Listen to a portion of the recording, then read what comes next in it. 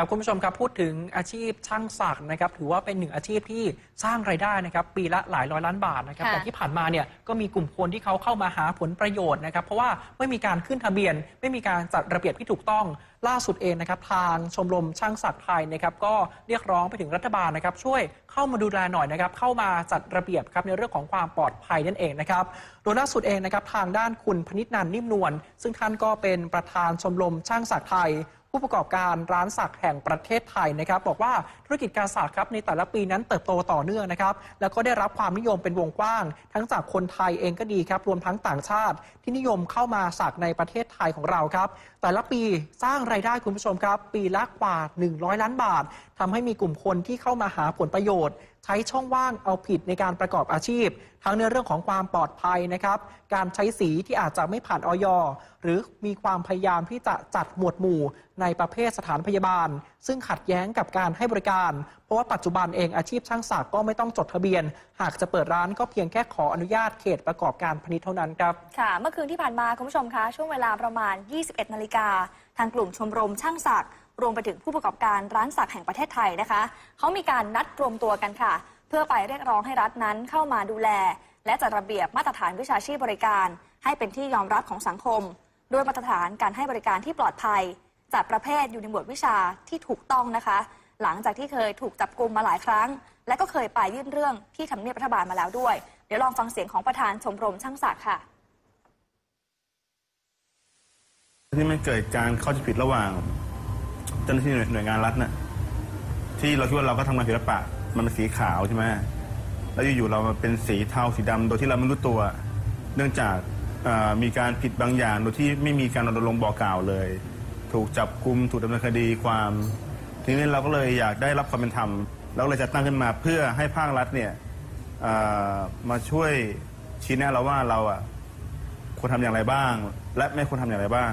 เพราะอาชีพรอยสักเนี่ยอาชีพทัตทูเนี่ย หรือช่างสักเนี่ยมันเป็นอาชีพใหม่ในวงการเมืองไทย เราคิดว่าทำงานศิลปะ อยู่ๆมีกลุ่มคนมามาถึงมายึดเครื่องมือเราไปเนี่ยยึดเครื่องมือเราไปเสร็จปั๊บแล้วก็เอาตัวเราไปโดยที่ไม่แจ้งข้อกล่าวหาไปนั่งในห้อง แล้วก็ตั้งข้อหาให้เราควบคุมตัวเรา ครึ่งวันวันหนึ่งหรือสองวันอย่างเงี้ย คุณคิดว่ามันเป็นธรรมไหมมันก็ไม่เป็นธรรมนะเพราะเราคิดว่าเอ๊ะเราทำงานอาชีพสุจริตอะขายศิลปะ อาชีพผมเนี่ยมันเป็นงานศิลปะ จริงๆแล้วมันเป็นศิลปะอย่างเช่น ถ้ายกตัวอย่างอย่างที่อาจารย์ดรสมเกียรติได้พูดไปอันนั้นดีมากๆเลยครับเขาท่านพูดได้อย่างชัดเจนเลยว่า มันน่าส่งเสริมน่าจะมีโรงเรียนด้วยซ้ำว่าให้มีคอร์สสอนเป็นทัตทูด้วยซ้ำเพราะมันส่งเสริมในเรื่องของวิชาชีพ แล้วก็สร้างเสียงอย่างที่อย่างที่เรารู้ๆอยู่ว่านักท่องเที่ยวเนี่ยมาปุ๊บเนี่ยเออมาเมืองไทยประเทศสวยงามคนดี งานศิลปะเยี่ยมเขาก็มาจับจ่ายให้ต่อย มันทำให้เม็ดเงินสะพัด ครับซึ่งทางชมรมเองก็บอกนะครับว่าอาชีพช่างศักดิ์นะครับ สามารถสร้างรายได้นะครับ เป็นหน้าเป็นตาให้กับแหล่งแหล่งท่องเที่ยวของไทยนะครับ เพราะว่าช่างศักดิ์ไทยเองก็มีฝีมือสวยงาม งานเนี่ยละเอียดนะครับทำให้ดึงดูดนักท่องเที่ยวต่างชาติเนี่ยเดินทางเข้ามาสักที่ประเทศไทยนะครับ อาชีพช่างศักด์นี่บางคนนี่เขาบอกว่าจะต้องจองคิวกันเป็นปีๆนะครับเพื่อที่จะสักนะครับ ก็ถือว่ามีความจำเป็นนะครับที่ทางรัฐบาลต้องเข้ามาช่วยยกระดับควบคุม เพื่อไม่ให้มีร้านที่ผิดจรรยาบรรณนะครับ เอาเปรียบลูกค้า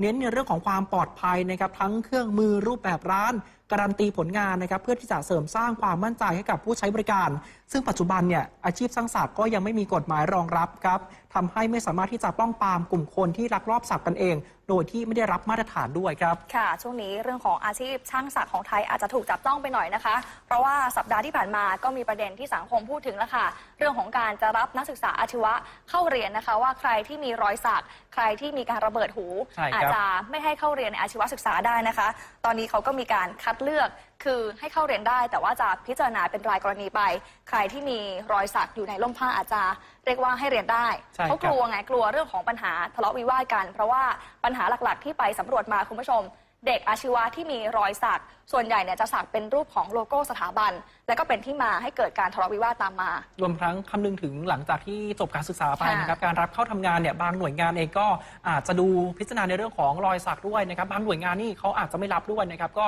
เป็นแนวคิดของทางสถาบันอาชีวะเอกชนนะครับที่มีการเสนอมา แต่ล่าสุดเองก็เริ่มที่จะหาทางออกให้กันนะครับก็ดูเป็นพิจารณาเป็นรายไปในการรับการศึกษาปี 2559ค่ะ